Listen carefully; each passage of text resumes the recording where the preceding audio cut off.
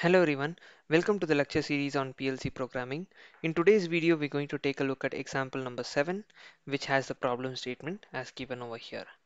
At the first place, let us go through the problem first and uh, let us break this problem uh, parts by parts and from there we can uh, get started on how to draw the ladder diagram for these type of questions. So they've asked us to design a PLC program and prepare a typical input or output connection diagram and ladder logic program for the following motor control specifications. We'll be drawing ladder diagram alone. We're not going to focus on anything else apart from that. So they're giving us certain motor control specifications and uh, this problem is uh, quite related to the starting of the motors in the stations that are there. So uh, there are certain specifications and according to these specifications we have to satisfy these conditions and then uh, our ladder logic will be right if we uh, satisfy all the conditions that are given over here. So they've given us four conditions. The first condition goes like this. Three starters are to be wired so that each starter is operated from its own start or stop push button station.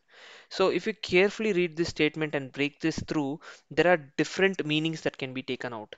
There are three starters that are used. So uh, they are to be wired uh, so that each starter is operated from its own start or stop push button station. That means there are three stations and each station has a starter and uh, they are uh, operated through start and stop push button. So each station has their own start or stop push button and there are three different starters which are located in three different stations. So one point clearly summarizes the entire requirement over here.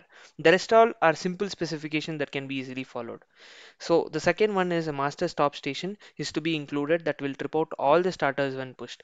So if a particular station uh, starter is actually operating, uh, if you press the master stop station button, the entire process should come to an halt. So we need this for safety purposes in case you want to shut down the entire unit. So that is why this is used.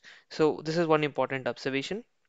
The next point is overload relay contacts are to be programmed so that an overload on any one of the starters will automatically drop all of the starters. So uh, usually overload relays are used for protection purposes, isn't it? So in case uh, the current or voltage level in a particular circuit during starting of motors because of inrush currents, it will be very high and uh, there is a necessity of having overload relay contacts and uh, they are to be programmed such that if any one of the starters will have very high value of current or voltage depending upon the requirement the overload relay should trip and consequently the starter that corresponding uh, to the starter should come to an halt. So after that the fourth condition that is given is all push buttons are to be wired using one set of normally open contacts. So that means uh, there should be at least one normally open contact in each of these stations. So that is uh, what they're trying to say so we have uh, gone through the entire question part by part and uh, we know the requirements now. Once we know the requirements, I would suggest you to pause this video over here. Try to draw the ladder diagram on your own. And if you're not able to uh, do this or if you're going wrong, uh, definitely cross verify in case you don't get the problem done. So they are saying there are three stations. So each of them will have a start push button and stop push button. Again, there is a station 2 which has start or stop push button switches. Always start push buttons will be given by normally open contact and stop by normally closed contact because normally closed contact will always be uh, short circuited when they are not energized. Once they are energized, uh, what happens? It will act as open circuit and it will stop the operation. And that is why stop push buttons are normally closed, start push buttons are normally open. So again, you have uh, start and stop push button for station 3. So they have clearly stated that each of them have their own status. So what we'll be doing is we'll be connecting them in parallel and each of them have their own starter, starter 1, starter 2, starter 3. So they're connected to respective starters, isn't it? So once this is done, we need to add two more points over here. That is master stop station button. So we'll be having a master station button and we'll be having an overload relay contact. So these are normally closed contacts because only if you press this button the entire operation should stop. So that is why we'll be using normally closed. So I hope this point is clear. Now we'll be connecting it to the input terminals in this particular fashion. So this is how you have to approach a ladder diagram, uh, read it part by part and go through the process. So once we have drawn the ladder diagram, we have to verify. How do we verify it? So just to uh, ensure that this is the right ladder diagram and to check how the uh, ladder diagram works with respect to the given question. Let us start off with starting the push button switch of station 1 in this particular fashion. So if you carefully observe, the green ones are always uh, in short circuit. So that is why I have indicated here. Initially the uh, normally closed contacts will be closed and as a result it will be indicated in green current starts flowing and once I press the start push button it will also be in green color because it is short circuited current starts flowing through this path and consequently starter 1 of the station 1 will get energized in this particular fashion so we are energizing uh, the station 1 uh, starter 1 by pressing the start button. Now if I have to stop this, if I press the stop push button of station 1, what happens? The current stops uh, flowing through this path because it acts as open circuit uh, because it was initially closed circuit and once it is energized, normally closed contact will act as open circuit. Consequently what happens? The motor actually gets uh, the starter corresponding to the motor gets de-energized. So starter 1 of station 1 gets de-energized. So the starter comes to an halt. If you press the start button, the starter is starting. If you press the stop button, the starter corresponding to the station is stopping. So our condition is satisfied. So it's working for station 1.